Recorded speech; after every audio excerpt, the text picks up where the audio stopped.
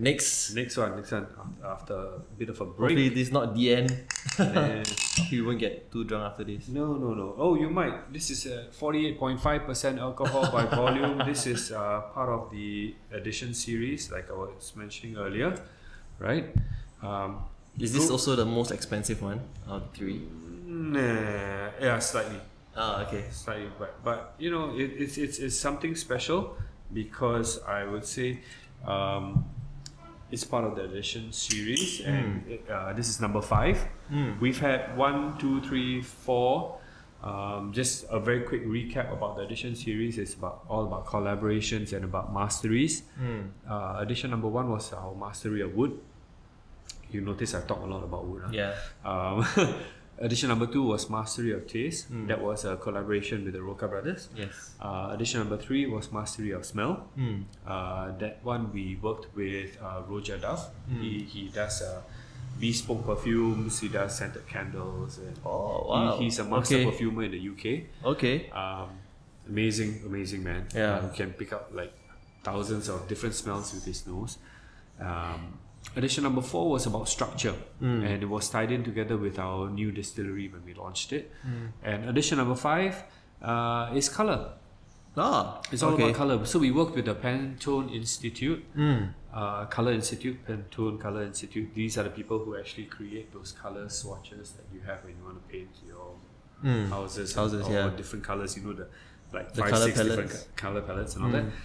Um, and we worked with them, and they created this. If you notice, the the the bottle, the label is purple. Yeah. Yeah. Uh, so this is the Macallan Edition purple. Mm.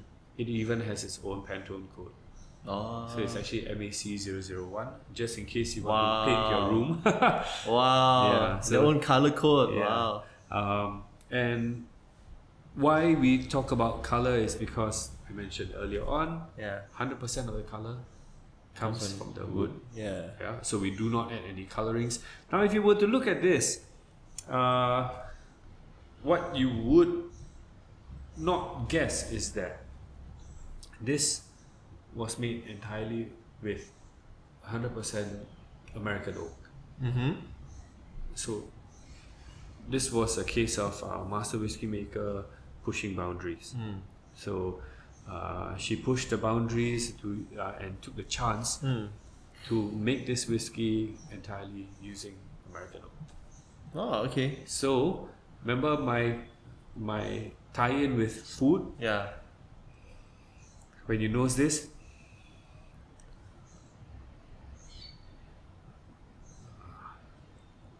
It's something we have early in the morning all the time. Coffee? No? There is a bit of a coffee taste right at the end, but this one leads with a little bit of kaya butter toast. Oh.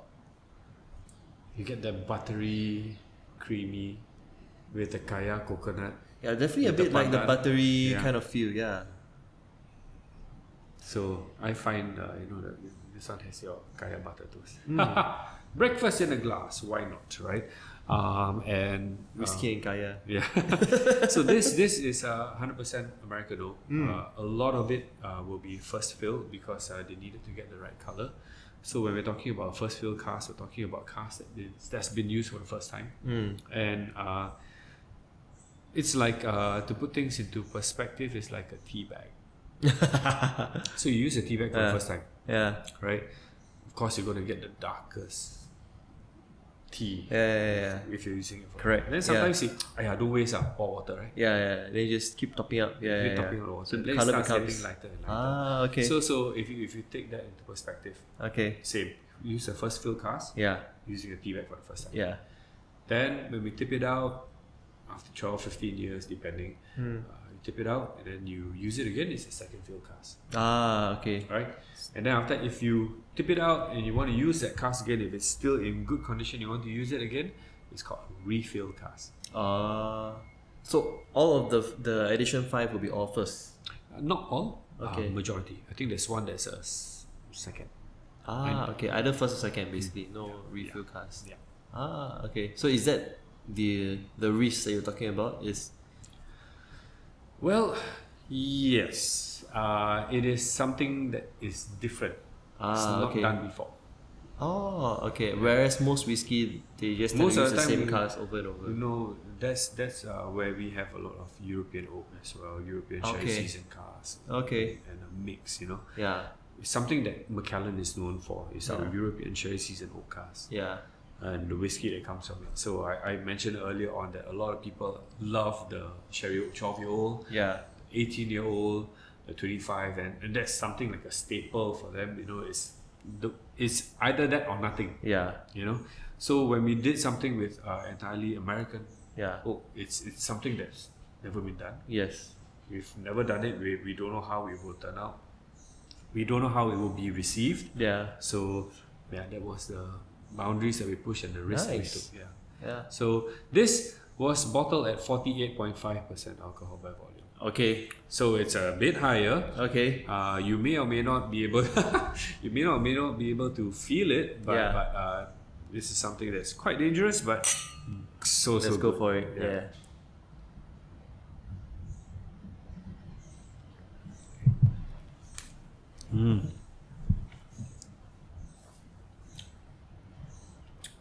Definitely a lot of spice, um, a lot of ginger, a lot of um, uh, you're gonna have a lot of uh, vanilla that's leading there, nutmeg. You're gonna get like poached pe- uh, pear. You know when you poach a pear, you flambe the pear. You're gonna have that a little bit of a freshness, a bit of that sweetness, uh, a bit of that rounded uh, kind of flavor. Still feels like it's even though uh, it has more alcohol, doesn't feel more like the first one was spicier than the than this last Exactly. one. Yeah. So so that that's what makes it so dangerous. It's forty eight point five. Ah. yeah. So you, imagine- you do you do get a sense of the alcohol once you're done, Yeah. like once you've swallowed. Yeah, yeah, yeah. But yeah, that's interesting because I always related like spiciness to the alcohol uh, Now, volume. As of today, you would realize that that's not That's not the really, case. Not not really the case. Yeah. yeah. So so quite quite a quite a good. I think uh, quite a good lineup to to to kind of uh, introduce. Um, introduce you to the world of Macallan yeah, even more. Yeah. yep, yep. Yeah. And then and this is uh limited. Yes, this is uh, so this is uh, limited. I think there's about 255 255,000 bottles worldwide. Oh, why So- two five five? Is that the No, no, it's just, Oh. just the number of uh, uh, casks that that, that uh, we vetted for it. I thought that would be the color code for the no, no, no, no, no, like It's just nice story just five. no, but uh, 255,000 casks worldwide, and once all these uh, bottles, uh, sorry, 255 bottles worldwide. Yeah. Um, shit, I said something wrong. So it's 255,000 bottles worldwide. Yeah. Yeah, okay, correct. um, That's what you said before, right? Said I said before that I, I went casks. Then Oh, went casks. Oh, yeah, yeah. No, no, it's bottles. I, I, I mixed, mixed everything up. uh, that's what happens when you drink Angmote in the afternoon. um, Cars, bottles, fine, everything. same, same, same, same, same, same. um, yeah, once this is done, they're not going to replicate it. ah, okay. And then I suppose this will continue with a six. Well, we don't know yet. Uh, Oh. We don't know what's gonna happen just yet. No I may plans, or you can't say, or I may know, but maybe I can't say. But you know, but yeah, we're, we're looking forward to a possible new one Hmm. uh, and see what what they can come up with next.